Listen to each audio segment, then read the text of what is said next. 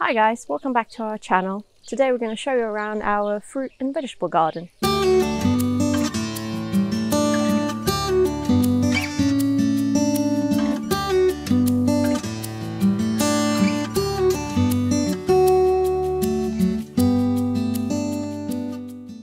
So we made these uh, reclaimed old railway sleeper beds probably about two years ago we've not used them first year because we've been filling them up partially with what we had after we dug our pond, some topsoil, compost, you name it, everything went in them. So the first time we used them was last year. Didn't go too well, but it was part of experience. And uh, this year we wanted to extend our vegetable plot a little bit more. So we got rid of a concrete path that went along the garden that you can see in one of our other videos. And also we wanted to fence it off um, to keep secure from our chickens and a dog. However, due to lockdown, we didn't have options where to buy wood or materials for it. So at the moment it's a temporary uh, chicken wire fence. Doesn't look too good, but it works for now.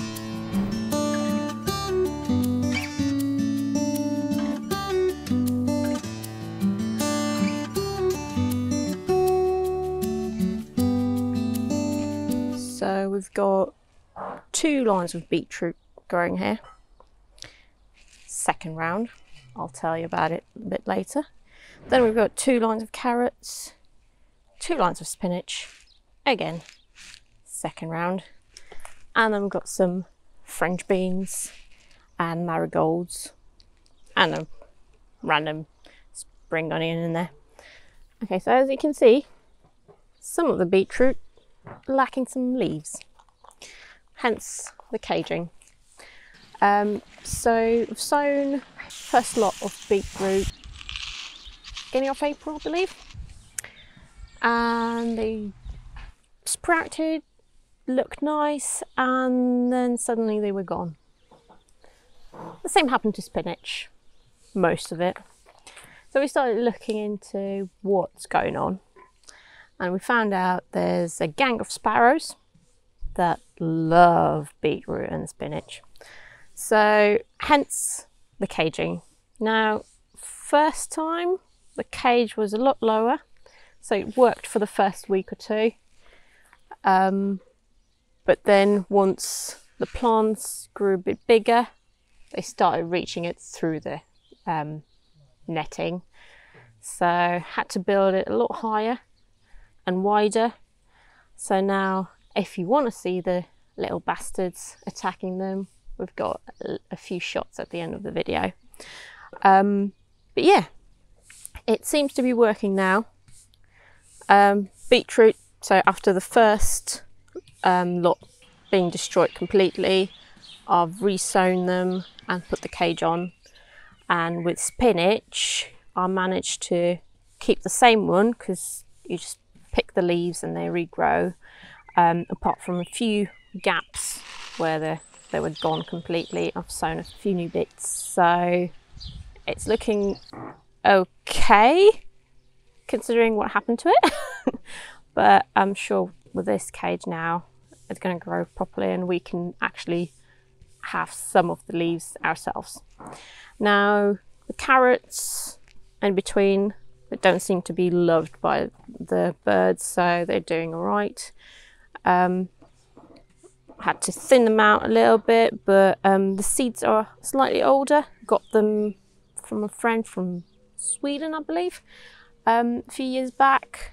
So I just attempted to sow those this year and they're still growing.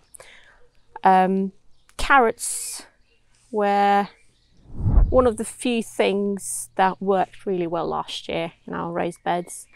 The thing that was a complete disaster was the Brussels sprouts. Uh, we've never grown them before. We planted them way too close to each other and they've been destroyed by thousands of caterpillars. So, yeah, we didn't get too many uh, Brussels sprouts ourselves.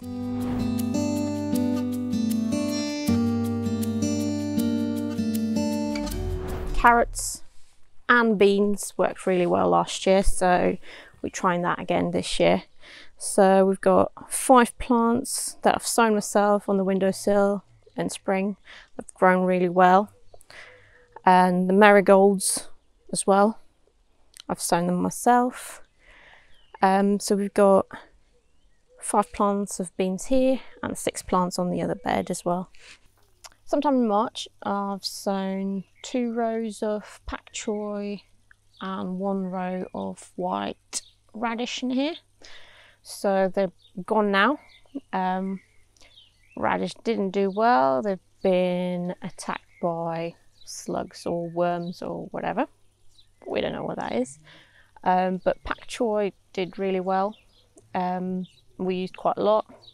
So for the second round, I've sown a row of chard there, um, a row of callaloo, if I'm pronouncing that right.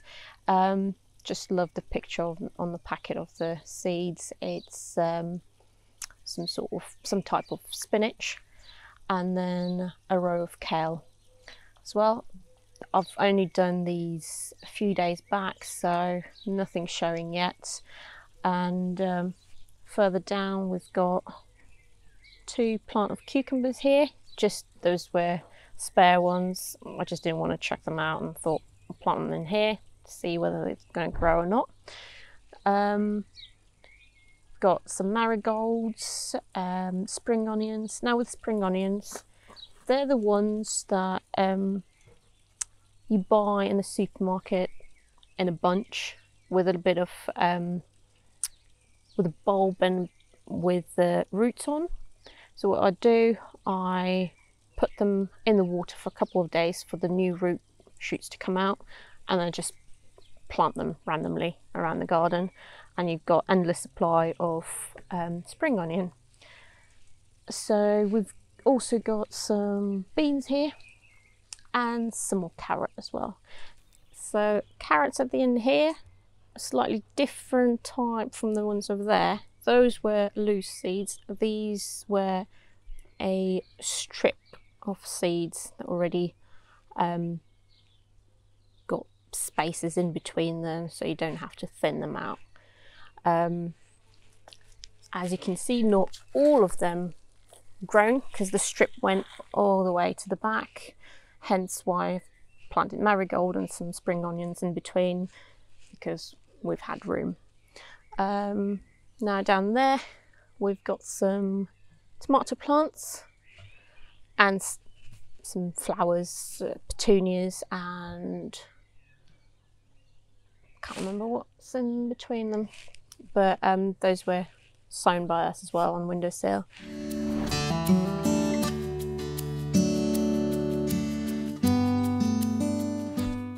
Down here, that's where the concrete path used to be. So we did an extended vegetable patch here. Now, these guys here, not grown them ever before. Um, literally decided to try them when I saw a pack of seeds in the garden centre. So these are soybeans or edamame beans. Um, they seem to be growing all right, but we'll see whether we get anything or not because I think I've planted them out a little bit too early, but none of them died, so fingers crossed. Now, along the fence, I've sown nasturtiums and sweet peas. Now, a lot of sweet peas have been attacked by birds, most likely pigeons, so they don't look too healthy. Kind of half eaten, but fingers crossed we will get some pea pods.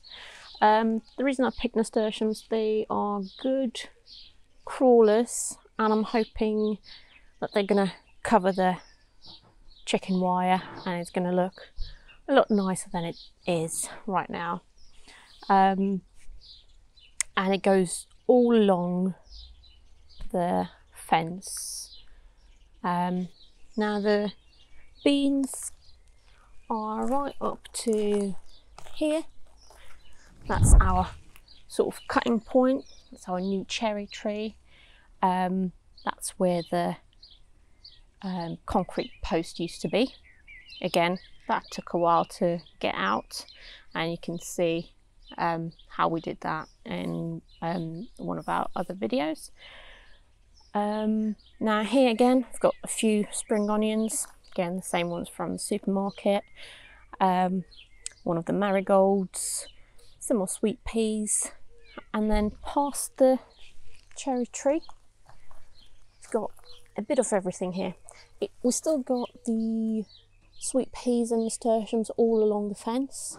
However, instead of the beans on this side, I've got some cucumbers um, or gherkins because they're not the long ones, they're the short ones. And um, in between that, I've got some uh, um, dill, some chives, um, and then the far end, I've got a few plants of garlic as well.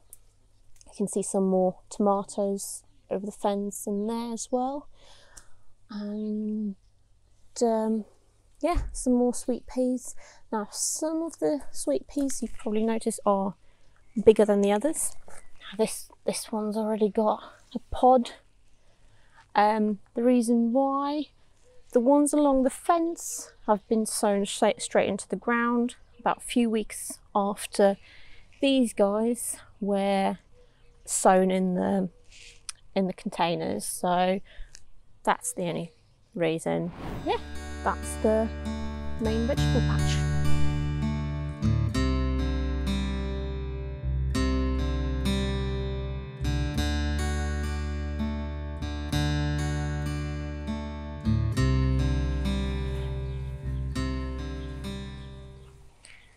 So that is our strawberry patch. Um, we've grown them for three years now. First year they were in the in the bed where the raised beds are now. So raised beds re uh, replaced the strawberries. Um, obviously, first year we didn't get too much of fruit. Um, some of them were from my mum's, others were actually from the gardens of the Churchill House um, down in Kent, I believe. Uh, we visited a few years back and um, we bought six plants um, from the gardens. Um, the strawberries do grow each year. Um, that's why we've got them all in one place um, kind of put a lot of compost in there. We try to water it regularly um, because they are up against the hedge and obviously they they do require a lot more water because they've got competition over there.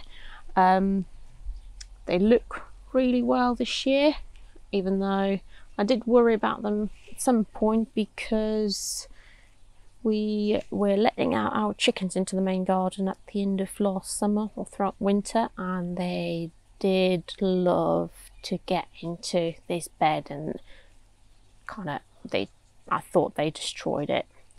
But thank god they're all back. There's plenty of fruit um, you can see here.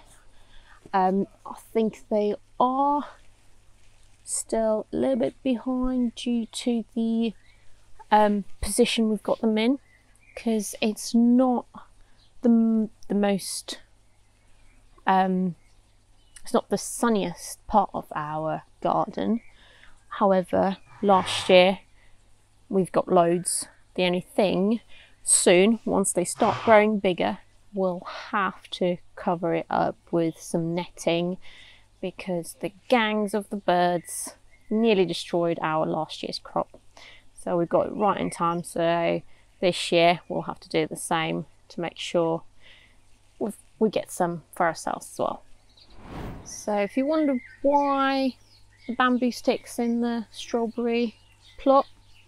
Well, those sweet peas that I've sown into the container, um, and I've, I thought I'm going to have some early ones uh, before the ones along the fence grow up. Um, I've planted a few amongst the strawberries, and as you can see, they did not do very well. Um, so I don't have proof who was it, but I have a feeling it's been pigeons because we do know they love sweet pea plants. So out of one, two, three, four, five, six, I've only got one survivor, which is down here, and doesn't look the healthiest one, um, but a lot healthier than the others, unfortunately.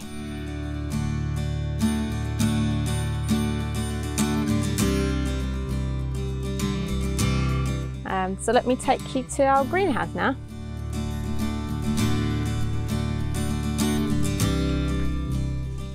By the way, we've got um, an apple and a plum tree here, which were here already when we bought the house. Um, we moved in end of on Halloween's day actually, um, so we weren't sure what the plum tree was until the next season. Um, but yeah, the, the fruit are amazing. First year we had amazing amount of plums and apples and they are delicious. And I managed to make some uh, plum jam in the first year, which I'm hoping for this year as well.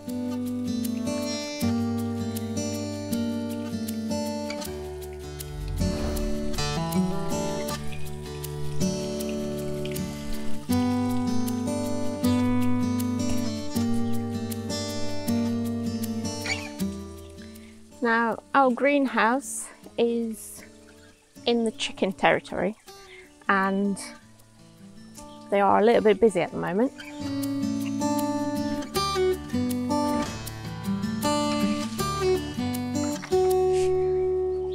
That Belfast sink was here at the back of the garden when we moved in and only this spring I decided to try and make a dust bath for the girls and actually now is the first time I've got an actual proof that they are using it.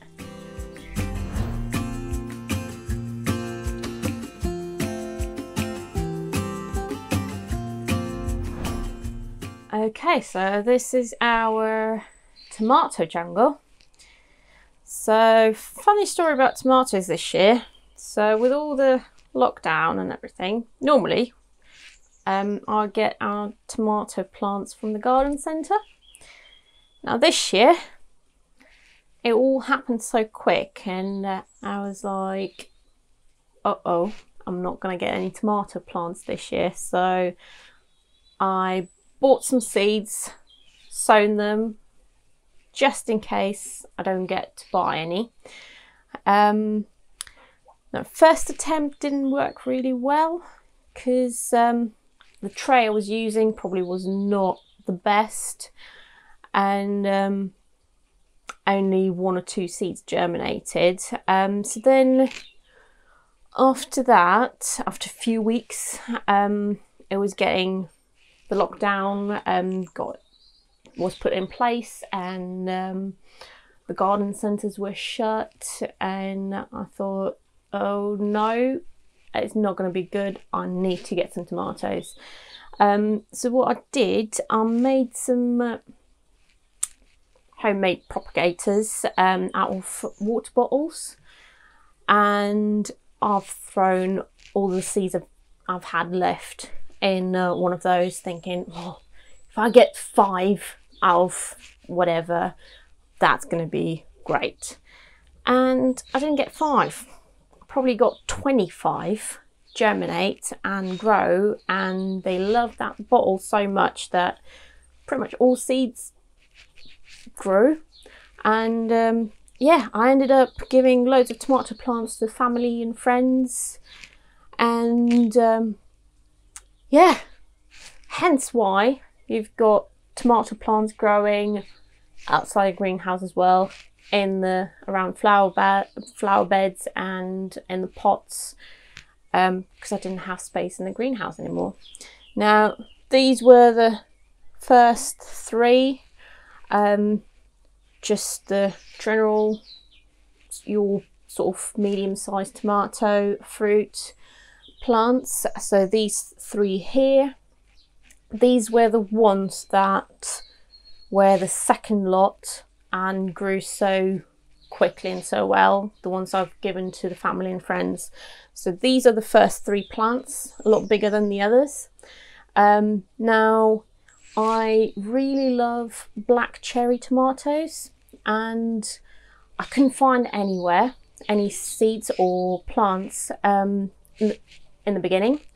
Then I found the website where I can order them and so that's why they they were sown a little bit later than they should be and they are slightly smaller and they're behind me along with um, some um, um, beefsteak tomatoes and uh, um, some gold yellow gold tomato plants as well so they are sort of at the back now I might have overdone with the amount of plants I've got in this greenhouse, but because I had so many, I didn't want to throw away any of them.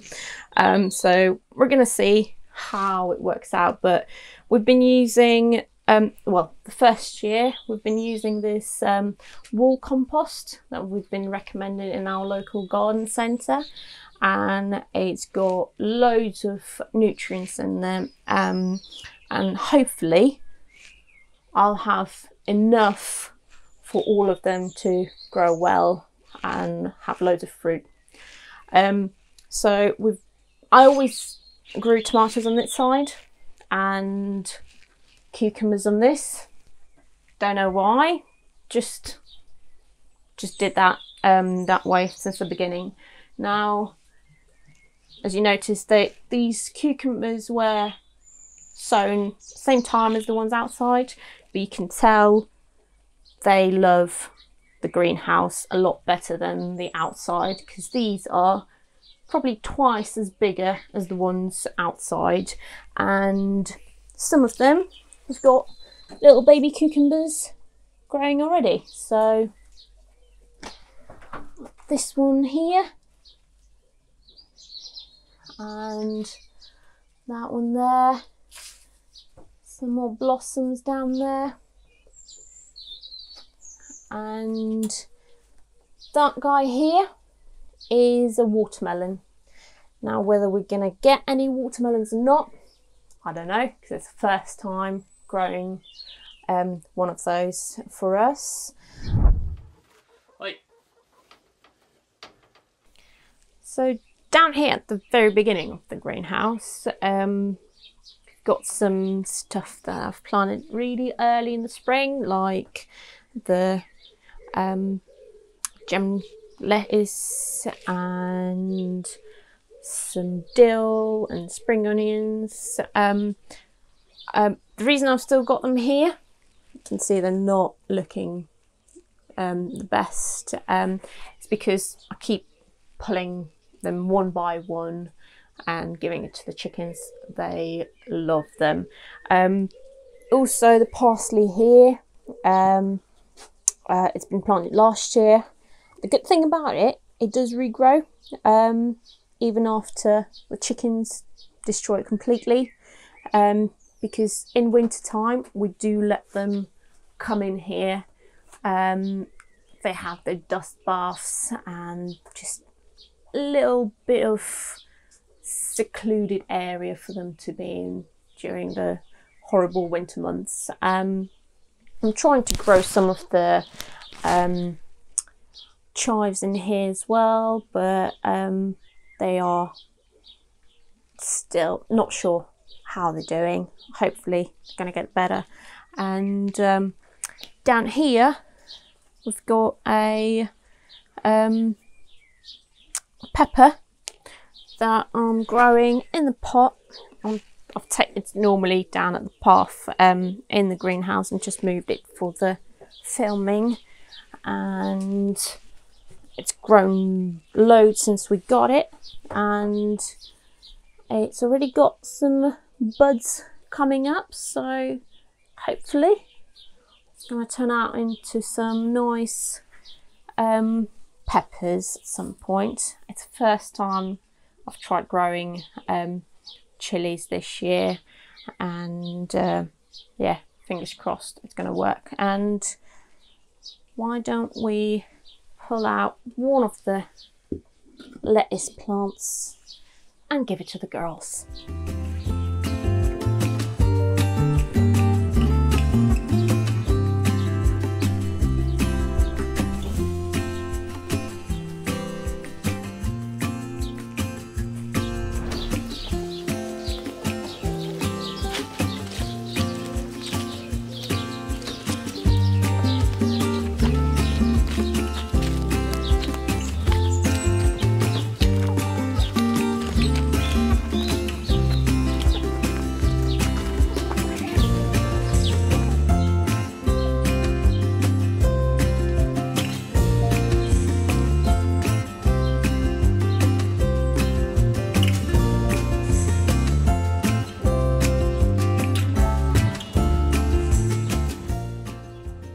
Watching today's video and if you've got any comments uh, please let us know below.